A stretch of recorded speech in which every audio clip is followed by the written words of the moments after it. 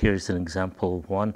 I removed one channel flake uh, along the edge and then another one which extended up to the middle of the uh, uh, point preform.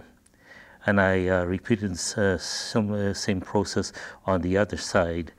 And what I done was just uh, used a small pressure flaker and applied pressure towards the tip.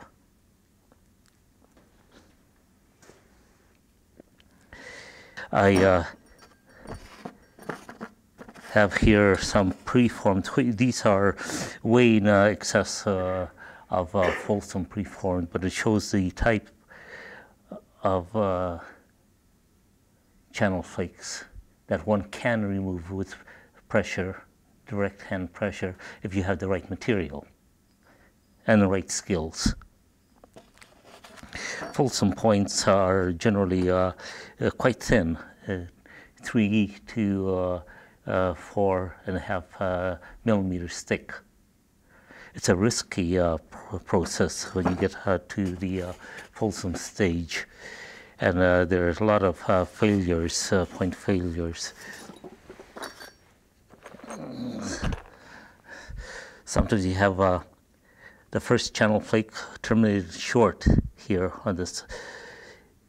And uh, second one uh, removed, uh, went to the end and removed part of the distal end.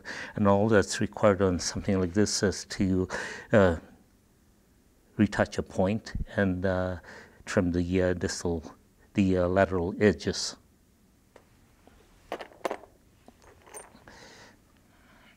Here's another uh, a Folsom point that I uh, re removed a first channel uh, flake uh, terminated short.